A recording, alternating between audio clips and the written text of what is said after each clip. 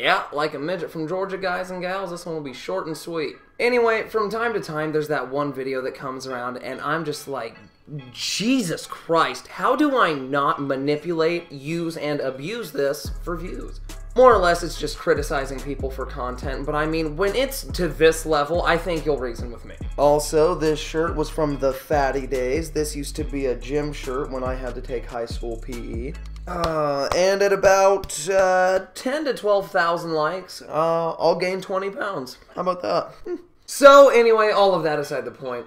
Today, I bring you one of hands down the most delusional people that I was gonna say ever seen, but I mean, I usually only see them on the Dr. Phil show, and even for the fucking Dr. Phil show, this was bewildering. So, actually, wait, now that I think about it, I wonder how much bullshit the Dr. Phil producers actually have to go through. And I mean, not even just with the abnormal stuff, like, can you imagine how many normal submissions they get? Like, how many lonely middle class housewives are sick of their husband's nine to fives, and they're looking for a way out of it. So, in a last desperate attempt to salvage what little is of their life, they write in to the Dr. Phil show.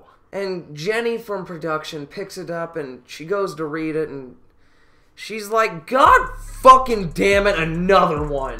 And it just gets tossed away in the get over it, Debbie. Your kids are annoying and you already know he's cheating pile.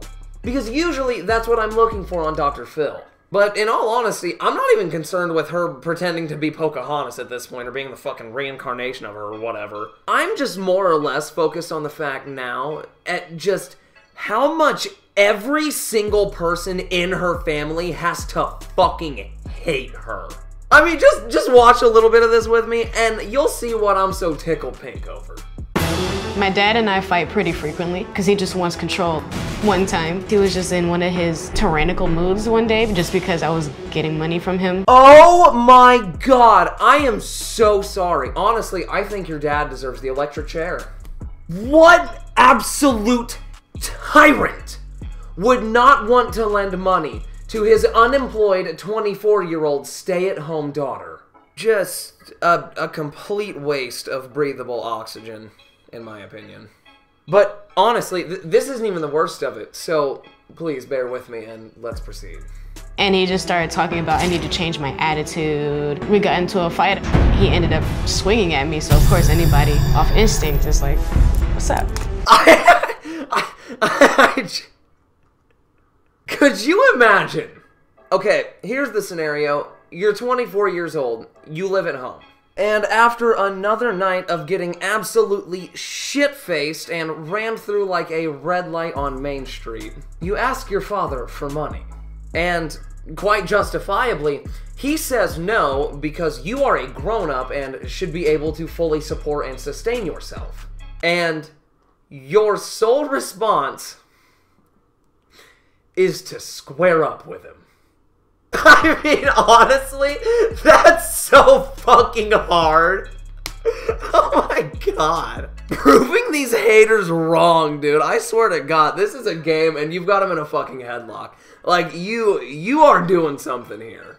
But that still isn't even the best part. So, please, I, I need more of this content. We, we need, we need to go. I had to call the police twice on my daughter I was cooking some Brussels sprouts in a bag. They're frozen.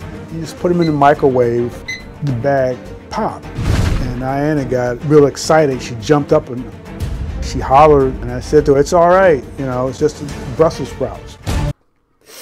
Dude, I swear to God, it takes uh, it takes seeing it to believe it. But somehow, this shit show gets worse. Just keep in mind, all this man wanted to do was eat his Brussels sprouts. That, that's it. But please, that, more. I heard them pop in the microwave and I opened it and my dad was like, don't touch it. And we just started arguing over that and the police got called. She starts throwing things at me. Glasses, container of dishes. The same day, that's when she attacked me from behind and hit me in the back of my head. I was fighting with my sister, and next thing I know, I feel it in the back of my head. I went crazy. I just kind of pulled her over my shoulder, threw her, and then right in the eye. Ayana! Please! Just let the man have his fucking sprouts. Like, what, what, what could you possibly gain from this? You don't even want to eat the fucking Brussels sprouts. Literally, the only nutritional value she's getting from the Brussels sprouts is being able to feed off of your father's sadness from not being able to eat the aforementioned Brussels sprouts. Ayana, you are one sick, evil bitch. And I love that for you. And I I need more. And then I felt bad because that's my little sister. So of course, my dad hears baby girl screaming and he comes to her rescue and we're fist fighting at this point. I call the police for help and I tell them, watch out, it's some wicked energy in there, don't get sucked into it.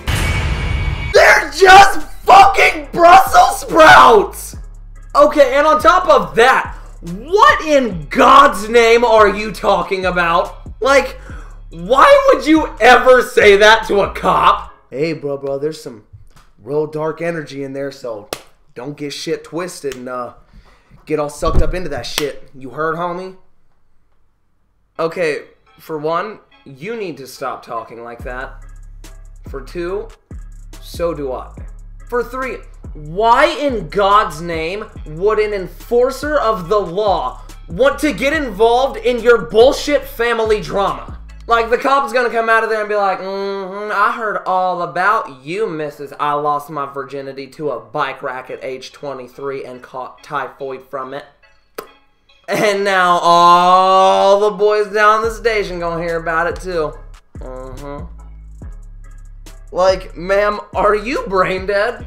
Okay, not even your family cares about your family drama.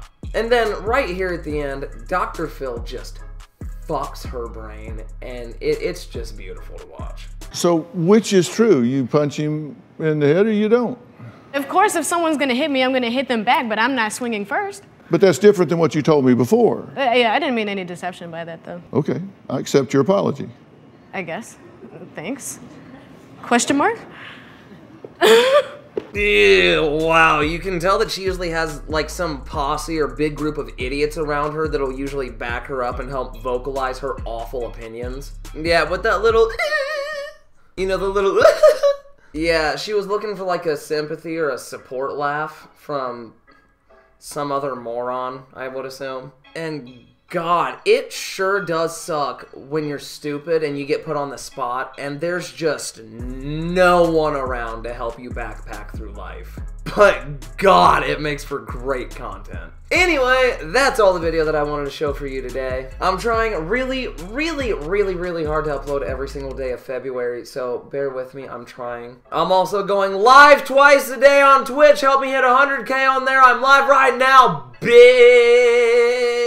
It's just twitch.tv backslash Nudah. It's the first link in the description. It's very epic.